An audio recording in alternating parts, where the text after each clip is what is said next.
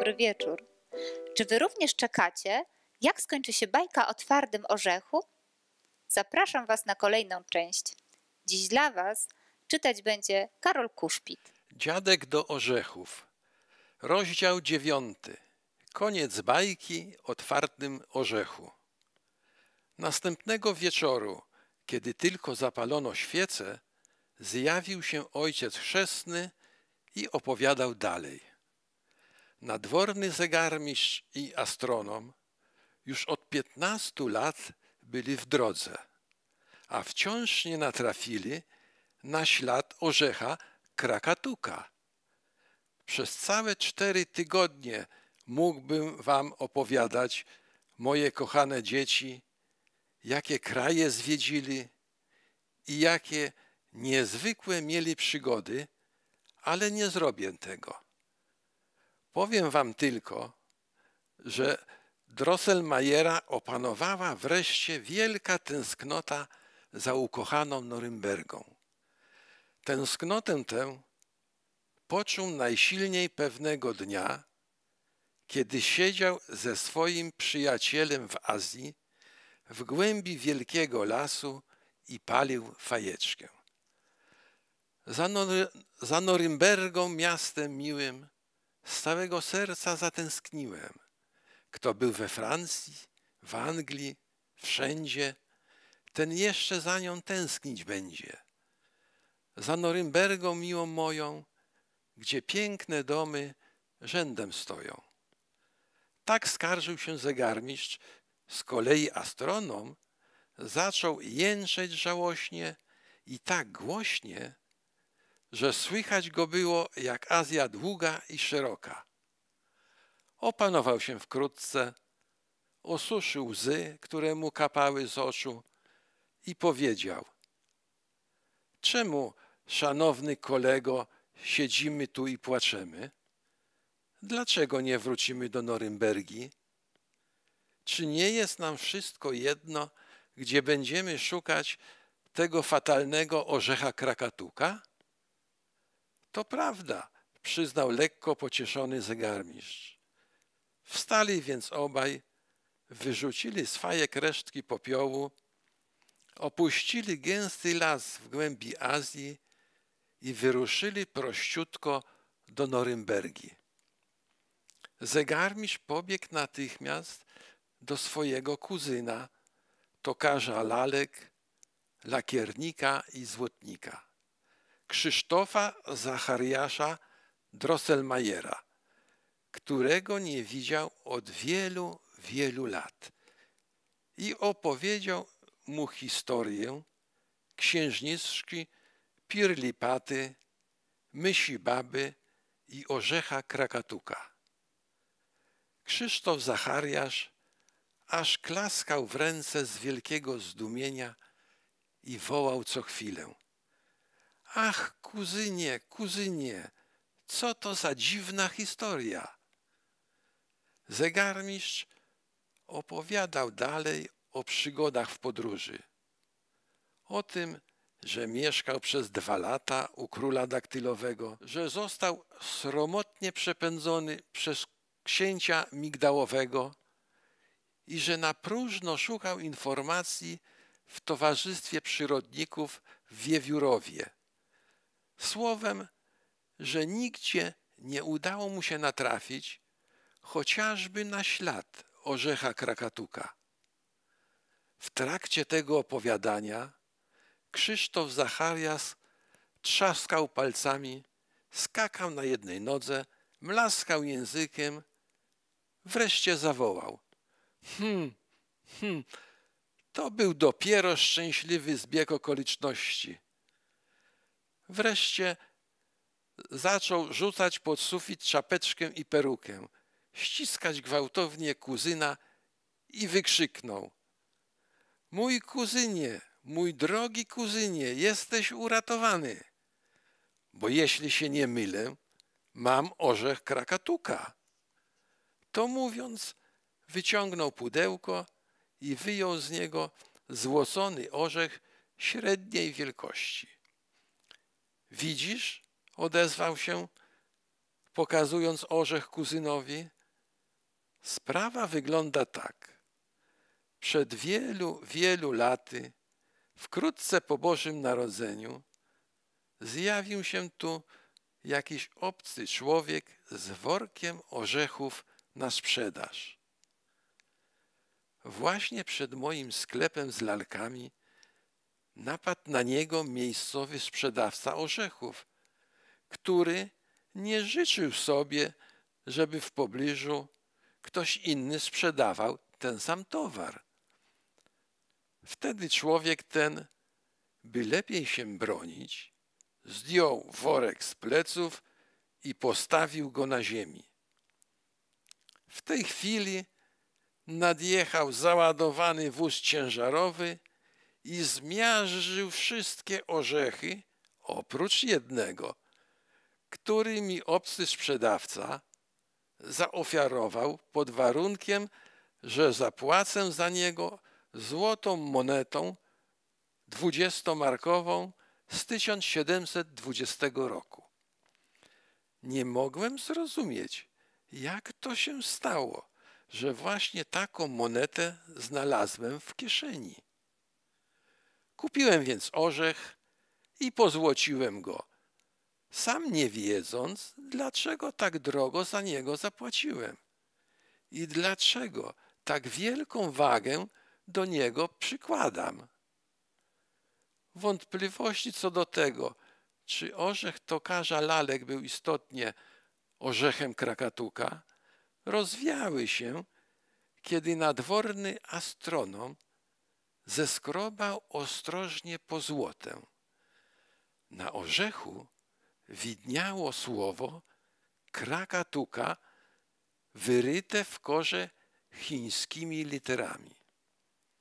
Trudno określić radość podróżnych, a tokarz z pewnością był najszczęśliwszym człowiekiem pod słońcem, bo zegarmistrz zapewnił go, że przyszłość od tej chwili ma w pełni zabezpieczoną. Będzie pobierał pokaźną pensję, a w dodatku całe złoto do swego warsztatu dostanie za darmo. Zegarmistrz i astronom ubrali już swoje nocne czepki, chcąc odpocząć, gdy nagle astronom odezwał się. Najdroższy kolego, szczęśliwe przypadki chodzą parami. Wierz mi, znaleźliśmy nie tylko orzech krakatuka, lecz także młodego człowieka, który go rozgryzie i poda księżniczce pirlipacie jądro piękności. To syn twojego kuzyna. Nie pójdę spać, ciągnął dalej uratowany, bo jeszcze tej nocy chcę przepowiedzieć młodzieńcowi przyszłość. Mówiąc to, zerwał z głowy swój nocny czepek i natychmiast przystąpił do obserwacji gwiazd. Syn tokarza lalek był przystojnym młodzieńcem, który jeszcze nigdy w życiu nie golił się i nie nosił butów. Był wprawdzie za czasów wczesnej młodości pajacem na kilku gwiazdkach, ale nie było tego wcale po nim widać. W czasie świąt Bożego Narodzenia nosił piękny czerwony tużurek obramowany złotem. Pałasz przy boku, miał kapelusz pod pachą i kunsztowną fryzurę zakończoną z tyłu woreczkiem do włosów. Stał tak cały błyszczący w sklepie swego ojca i rozgryzał orzechy młodym dziewczętom, które ochrzciły go imieniem dziadka do orzechów. Następnego dnia rano uszczęśliwiony astronom objął zegarmistrza za szyję i zawołał. Mamy go, mamy, to na pewno on, ale nie wolno nam, kochany kolego, zaniedbać dwóch ważnych rzeczy. Po pierwsze, musimy dorobić Twojemu drogiemu siostrzeńcowi mocny drewniany warkocz i połączyć go z dolną szczęką w ten sposób, żeby można ją było za pomocą warkocza silnie naciskać. Po drugie, po powrocie do stolicy nie możemy od razu zdradzić, że przywieźliśmy młodzieńca, który ma rozgryźć orzech krakatuka. Powinien on zjawić się dopiero po pewnym czasie, bo wyczytałem w przepowiedni, że najpierw wielu młodych ludzi połamie sobie na tym orzechu zęby. Wtedy król obieca księżniczkę i następstwo tronu temu, kto rozgryzie orzech i przywróci księżniczce utraconą urodę. Kuzyn Tokarz bardzo się ucieszył, słysząc, że jego syn ma poślubić księżniczkę Pirlipatę i zostać księciem, a nawet królem. Oddał go więc bez zastrzeżeń w ręce wysłanników. Warkocz, który zegarmistrz przyprawił swojemu młodemu i obiecującemu siostrzeńcowi, spełniał doskonale swoje zadanie. Młodzieniec rozgryzał bez trudu najtwardsze pestki brzoskwini. Zegarmistrz i astronom natychmiast po znalezieniu orzecha krakatuka zawiadomili o tym stolicę. Wydano zaraz odpowiednie rozkazy i kiedy nasi podróżnicy przybyli do stolicy ze swym niezawodnym środkiem na odzyskanie urody, zebrało się tam już wielu dorodnych młodzieńców, a nawet kilku książąt, którzy wierząc w swoje zdrowe zęby, chcieli podjąć próbę odczarowania księżniczki. Wysłannicy przerazili się na widok Pirlipaty. Drobniutki tułów z małymi rączkami uginał się pod ciężarem wielkiej i nieforemnej głowy. Brzydotem twarzy potęgowała biała bawełniana broda, okalająca usta i podbródek. Działo się tak, jak przewidział nadworny astronom w przepowiedni. Jeden za drugim podchodzili młodzi ludzie, chętni podjąć wyzwanie i łamali sobie zęby i szczęki na orzechu krakatuka, nie przynosząc tym najmniejszej ulgi księżniczce. Każdy z nich wynoszony przez dentystów wzdychał bliski zemdlenia. To był twardy orzech do zgryzienia. A kiedy król z rozpaczą w sercu obie, obiecał córkę i królestwo temu, kto odczaruje księżniczkę, wystąpił grzeczny i delikatny syn Krzysztofa Zachariasza Drosselmajera, i poprosił o pozwolenie przystąpienia do zawodów. Żaden z młodzieńców nie podobał się księżniczce Pirlipacie tak, jak syn tokarza lalek. Przycisnęła do serca swoje drobne rączki i westchnęła głęboko. Ach, gdyby to on rozgryzł orzech krakatuka i został moim mężem. Młody Drosselmajer złożył grzeczny ukłon królowi i królowej, a także księżniczce Pirlipacie, wziął z rąk najwyższego mistrza ceremonii orzech krakatuka, włożył go między zęby, pociągnął mocno za warkocz i krach! Skorupa rozpadła się na drobne kawałki. Zgrabnie oczyścił jądro orzecha z przylegającej skórki i z dworskim ukłonem podał je królewnie. Potem zamknął oczy i zaczął się cofać. Księżniczka natychmiast połknęła orzech i o cudzie, cała brzydota znikła. Na miejscu potworka stała dziewczyna anielskiej urody, o twarzy jak gdyby utkanej z płatków lilii i róży, o wspaniałych błękitnych oczach i złocistych włosach. Głosy trąb i bębnów zmieszały się z okrzykami radości wznoszonymi przez tłum. Król, a z nim cały dwór, tańczył w kółko na jednej nodze, jak w, dniu, w którym urodziła się Pirlipata, a królową musiano pokropić wodą kolońską, bo z radości i zachwytu zemdlała. Głośny hałas zmieszał młodego Drosselmayera, który liczył kroki. Na szczęście chłopak zdołał się opanować. Właśnie wysunął w tył prawą nogę, by zrobić siódmy krok, gdy nagle z odrażającym piskiem wyskoczyła że z szpary mysi baba.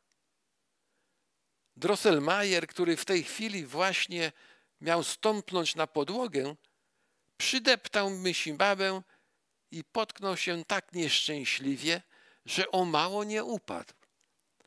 O losie straszliwy! Piękny młodzieniec przekształcił się nagle w takiego samego potwora, jakim była przed chwilą księżniczka Pirlipata. Jego drobny i włodki tułów ledwie mógł utrzymać wielką, bezkształtną głowę z ogromnymi, wypukłymi oczami i szeroko rozdziawionymi ustami. Zamiast warkocza zwisał mu z ramion wąski drewniany płaszczyk połączony mechanizmem z dolną szczęką. Zegarmistrz i astronom przerazili się straszliwie. Po chwili zobaczyli, jak myśli baba wije się w kałuży krwi na podłodze. Złośliwość jej została ukarana, bo młody Drosselmayer tak mocno nadeptał na nią końcem swojego pantofla, że wyzionęła ducha. W przedśmiertelnym lęku piszczała i kwiczała żałośnie. Twardy orzechu krakatuka, przez ciebie śmierć już do mnie puka. Pipi, pipi, lecz dziadek długo nie pożyje, bo myśli król go wnet zabije. Niestraszne mu złośliwe dziadki. On pomści śmierć swej drogiej matki. Hi, hi, pipi, kwik, kwik. Myśli baba, umarła z tym okrzykiem, a jej ciało po chwili wyniósł nadworny palacz. Nikt się nie, tło, nie troszczył o młodego Drosselmayera, ale królewna przypomniała ojcu jego obietnicę i król rozkazał przywołać bohatera. Gdy nieszczęśnik wystąpił z tłumu, królewna przerażona jego brzydotą zakryła twarz obiema rękami i zawołała: Precz, precz z tym wstrętnym dziadkiem do orzechów. Marszałek dworu chwycił go za drobne ramiona i wyrzucił za drzwi. Król był oburzony, że zegarmistrz i astronom chcieli przeznaczyć mu na zięcia takiego potwora kazał im na zawsze opuścić stolicę. Taki obrót rzeczy nie był przewidziany w przepowiedni. Astronom zaczął więc na nowo obserwować gwiazdy i wyczytał z nich, że syn tokarza lalek pomimo swego potwornego wyglądu zostanie księciem, a nawet królem. Jednak dopiero wtedy będzie mógł odzyskać swą postać, gdy zabije siedmiogłowego syna mysi baby, króla myszy.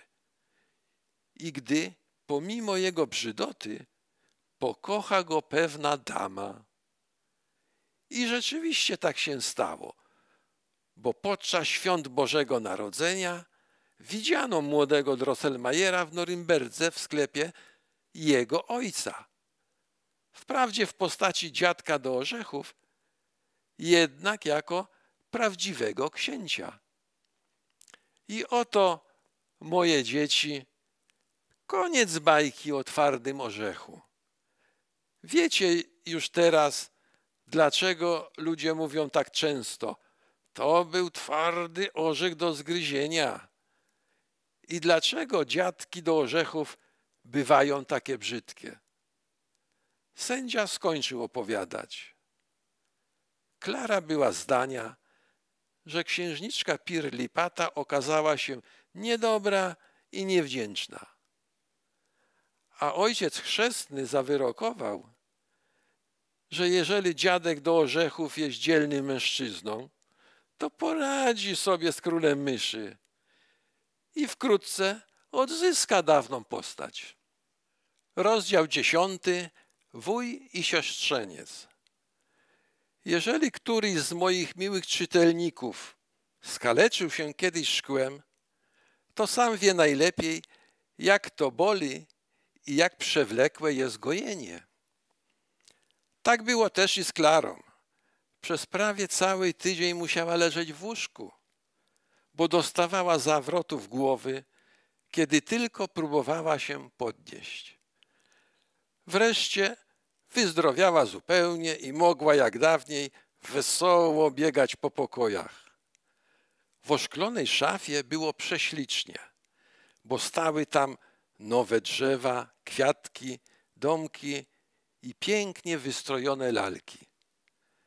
Przede wszystkim Klara odnalazła dziadka do orzechów, który uśmiechał się do niej z drugiej półki zupełnie zdrowymi ząbkami. Gdy z przyjemnością przyglądała się swojemu przyjacielowi, przyszła jej nagle do głowy niepokojąca myśl, że wszystko to, co opowiadał ojciec chrzestny, jest właściwie historią dziadka do orzechów oraz jego porachunków z myśibabą i jej synem. Dziadek do orzechów jest na pewno młodym panem Drosselmayerem, synem tokarza lalek, miłym, lecz niestety zaczarowanym przez myśibabę, siostrzeńcem ojca chrzestnego Drosselmayera. Bo ani na chwilę słuchając bajki, Klara nie wątpiła, że sędzia Drosselmayer był właśnie tym zręcznym zegarmistrzem na dworze ojca Pirlipaty. Ale dlaczego? Dlaczego wuj ci nie pomógł? Skarżyła się Klara, bo coraz bardziej była przekonania, że bitwa, którą obserwowała, toczyła się o państwo i koronę dziadka do orzechów. Czy wszystkie inne lalki nie były jej poddanymi? I czy nie sprawdziła się przepowiednia nadwornego astronoma, że dziadek do orzechów zostanie królem państwa lalek? Rozważając to wszystko, Klara uważała, że dziadek do orzechów i jego poddani powinni zacząć żyć i poruszać się tylko dlatego, że ona tego pragnie. Ponieważ jednak tak się nie stało i wszystkie zabawki w szafie były martwe i nieruchome, Klara przypisywała ten stan rzeczy czarom myśli baby i jej siedmiogłowego syna. Chociaż nie może się pan poruszyć ani do mnie przemówić, kochany panie Drosselmayerze, odezwała się Klara, wiem jednak na pewno, że pan mnie dobrze rozumie i jest pan przekonany o mojej życzliwości. Niech pan liczy na moje poparcie. Gdyby mogło ono na coś się panu przydać, przede wszystkim poproszę wujaszka, żeby dopomógł panu, bo ma takie umiejętności. Dziadek do orzechów był wciąż martwy i nieruchomy, ale Klarze wydawało się nagle, że lekkie westchnienie wyfrunęło z szafy i zadzwoniło o szybę. Dziewczynka zlękła się nieco, ale jednak było jej przyjemnie. Zapadł już zmierzch, do pokoju wszedł radca z ojcem chrzestnym. Wkrótce Ludwika nakryła do stołu i cała rodzina zebrała się przy herbacie, żartując i rozmawiając wesoło. Klara przyniosła po cichutku swój mały fotelik i siadła u nóg ojca chrzestnego. W pewnej chwili, gdy przy stole zapadło milczenie, Klara podniosła duże niebieskie oczy na sędziego i powiedziała: Wiem już teraz, drogi ojcze chrzestny, że mój dziadek do orzechów jest twoim siostrzeńcem, młodym Drosselmajerem, synem tokarza lalek. Sprawdziła się przepowiednia twojego przyjaciela astronoma, gdyż istotnie twój krewny został księciem, a nawet królem. Ale ty wiesz przecież, że z królem myszy, synem mysi baby są na stopie wojennej. Dlaczego mu więc nie pomożesz? Klara raz jeszcze opowiedziała o całym przebiegu bitwy, tak jak ją widziała. Wybuchy śmiechu matki Ludwiki przerwały jej opowiadanie. Tylko Fred i ojciec chrzestny zachowali powagę. Skąd tej dziewczynie takie dziwne myśli przychodzą do głowy? spytał radca. Widocznie, odpowiedziała matka, ma bujną wyobraźnię. To na pewno są sny wywołane chorobą. To wszystko nieprawda, wykrzyknął Fred. Moi czerwoni huzarzy nie są przecież takimi tchórzami do stu par diabłów. Tylko ojciec chrzestny uśmiechał się tajemniczo. Posadził sobie na kolana małą Klarę i rzekł łagodniej niż zwykle. Tobie, Klaro, więcej jest dane niż mnie i nam wszystkim razem. Jesteś jak Pirlipata urodzoną księżniczką, bo panujesz nad wspaniałym, słonecznym państwem baśni.